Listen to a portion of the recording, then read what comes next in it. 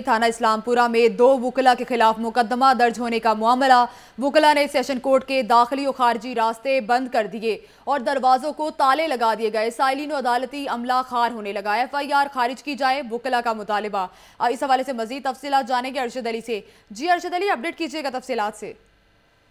جی بالکل گزشتہ روز جو ہے وہ سب انسپیکٹر نے جو ہے وہ دو وکلا کے اوپر جو ہے ایف آئی آر درج کی جس کے اوپر جو ہے وہ آج وکلا نے جو ہے وہ سیشن کورٹ کے تمام داخلی اور خارجی دروازوں کو تالے لگا کر بند کر دیا ہے اور اس کے ساتھ ساتھ سائلین کی بڑی تعداد جو ہے وہ اپنے کیسز کی پیروی کے لیے جو ہے وہ اب اندر نہیں جا رہی اور عدالتوں کے باہر جو ہے وہ ہاتھا عدالت میں موجود ہے جبکہ عدالتی عملہ بھی جو ہے وہ گیٹوں کے باہر موجود ہے وکلا کسی کو جو ہے وہ اندر نہیں جا رہے جانے دے رہے تاہم ججی صاحبان کی گاڑی جو ہے وہ صبح ہی اندر داخل ہو گئی تھی اور اب جو ہے وہ عدالتی عملہ گیٹ کے باہر ہے اور ججی صاحبان جو ہے وہ عدالتوں میں موجود ہیں تاہم کیسز کی سماعت جو ہے وہ نہیں ہو رہی۔ وکلا کا یہ مطالبہ ہے کہ فی الفور جو ہے وہ تمام ایف آئی آر جو درج کی گئی ہیں وکلا کے خلاف اس کو جو ہے وہ خارج کیا جائے جب تک وکلا کی جانب سے یہ کہا جا رہا ہے کہ ایف آئی آر خارج کی جائے۔ بہت شکریہ ارشد علی آپ کا۔